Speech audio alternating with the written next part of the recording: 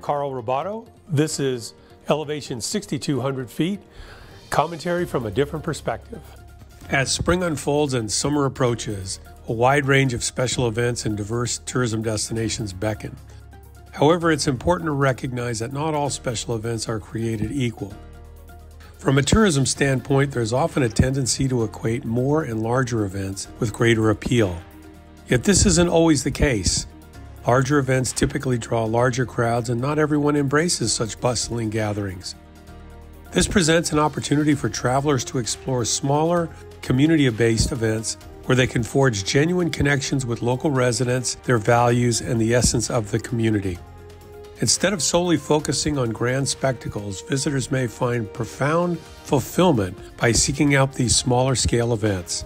Doing so enables them to align with the ethos of the local community gaining insight to their way of life and the principles they hold dear.